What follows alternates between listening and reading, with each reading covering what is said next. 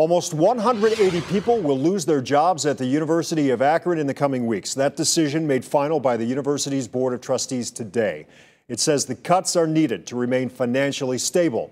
News 5's Olivia Fecteau learned many at the university are now anxiously waiting to hear whether they will be the ones to be let go.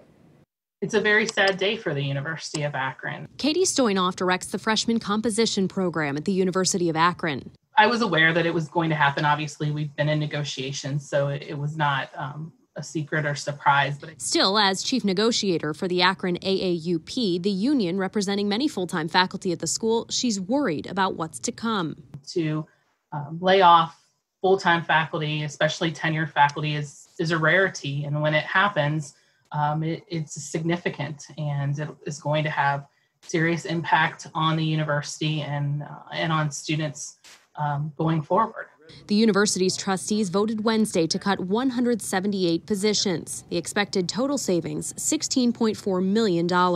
Unfortunately, the considerable sacrifices already made by our employees are insufficient to design a budget that will sustain the University of Akron under the conditions that we now face.